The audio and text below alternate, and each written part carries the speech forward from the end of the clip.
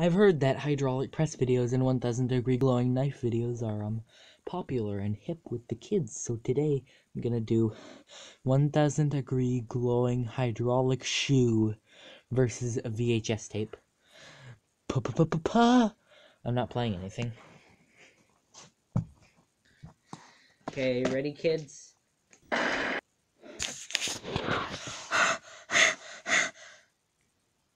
My god, I didn't think I'd actually do. Oh my god.